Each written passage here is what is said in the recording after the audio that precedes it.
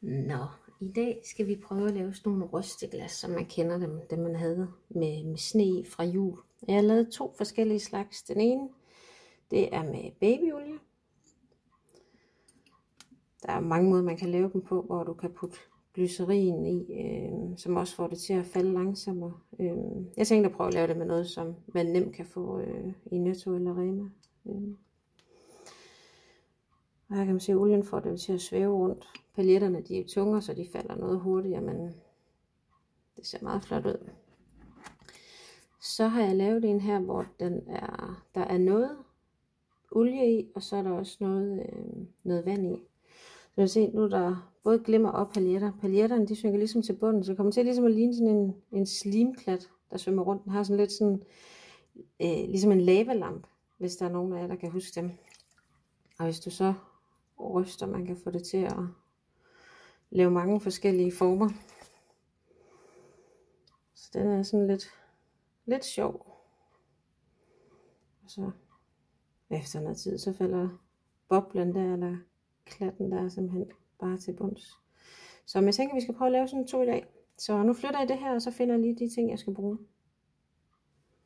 Så har jeg fundet tingene. Jeg tænker, hvis vi nu starter med at lave en, der er udelukkende olie, så tager vi lidt et lille glas her. Så skal vi egentlig bare have noget, noget glimmer og paljetter lagt i. Så hvis vi nu lige tager vi noget blå, så sådan lidt forårsagtig blå himmel og noget guld. Så hvis vi nu bare tager lidt forskellige farver. Noget rød. Og tager vi noget sort. Så er der lidt blandet. Jeg tænker, hvis vi så lige finder nogle paljetter. Og det er jo, Rito har jo masser af forskellige paljetter, både former og størrelser, og runde og store, og alt muligt. Så er der nogle blomster. Kan vi putte lidt af dem i også. Skal vi prøve at se, hvis vi tager nogle stjerner.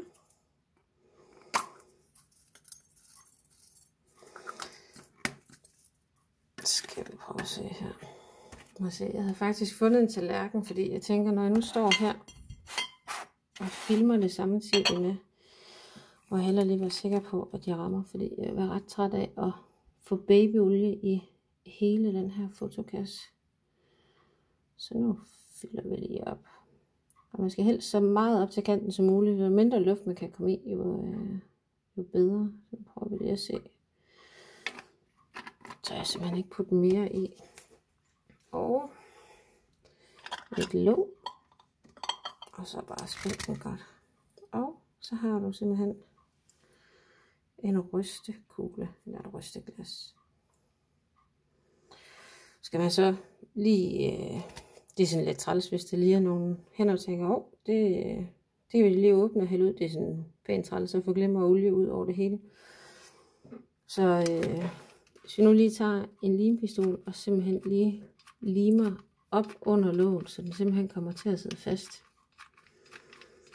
Jeg tænker, det, øh, så slipper man i hvert fald for at have olie og glemmer ud over det hele. Jeg tror, det er sådan en træls blanding at få, få af. Skal vi lige se her.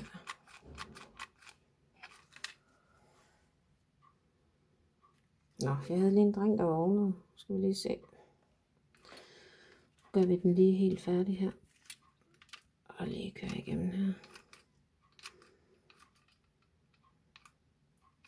Sådan. Så er der lim hele vejen rundt, og ingen fare for babyolie og glemmer i hele huset.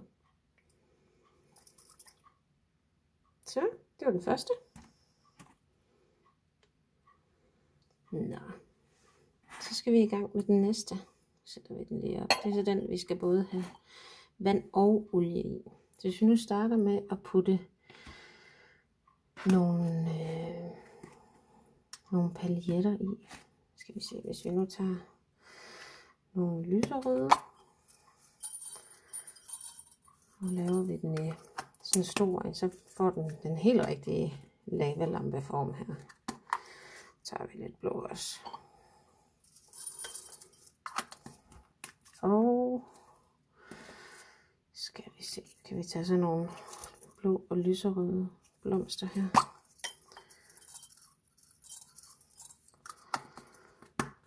Og så skal vi egentlig bare, jeg tror jeg skal der mere i. Jeg tror vi lader den være ved det. Og hvis vi så tager nu der blå og lyserød i, så hvis vi tager noget sølv, glimmer, og putter godt med glimmer i. Og noget blå kan jeg godt putte i også, der passer til. Så nu havde det været helt perfekt, hvis jeg lige havde en lyserød glimmer. Men det havde jeg så ikke lige liggende. Åh, skal jeg putte andet i? Mm, jeg tror, vi lader det være med det der. Der skal der lidt mere. Jeg næsten bliver til at putte lidt mere i. Hvis vi tager noget gult. Og putter i os. Det er en glad farve.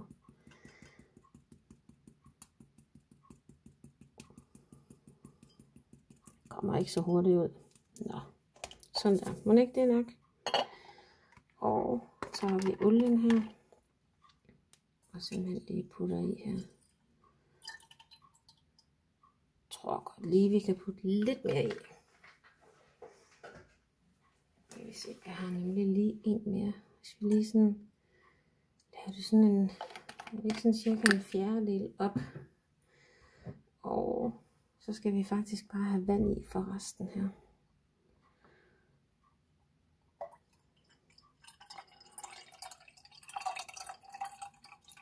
Kan vi se, nu er lige med at holde godt øje her, så vi ikke får det til at flyde over.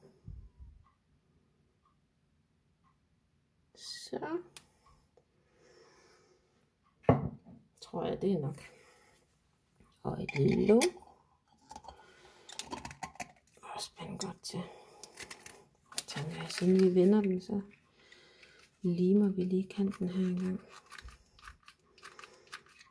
Så sørge for, at det hele det bliver inde i glasset. Så det er da bare sådan lidt, lidt sjovt og lidt hyggeligt og noget, man nemt. Det her, det, øh, det lille glas, det er et glas kavers, og det her, det er et glas oliven. Det, jeg tror, hvad koster det? En femmer. Så det er jo ikke, og så lige en, noget babyolie, og så noget glimmer og nogle paljetter. Det, øh, Rito har tit sådan en lille pose blandede paljetter til, jeg tror, det er en 20, hvis det ikke er mindre. Jeg har købt nogle af dem en del gange. Så lige pludselig, så mangler man paljetter. Og nu kom jeg lige på den her idé. Jeg tænkte, det, så er det godt, man lige havde det liggende. Nu kan man se, og har den allerede den der lavalampeform.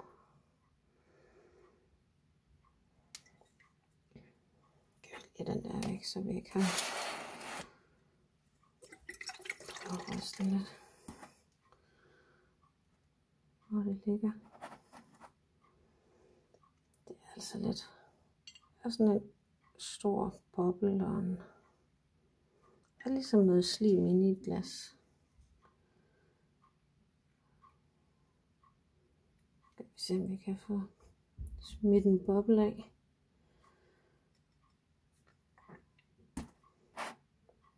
Så. Det er altså lidt sjovt. Så øh, nu må I se, om det er noget, I skal prøve at lave. Så øh, hvis I gør, så øh, må I endelig lægge det op. Det kunne være lidt sjovt at se de forskellige, I får lavet.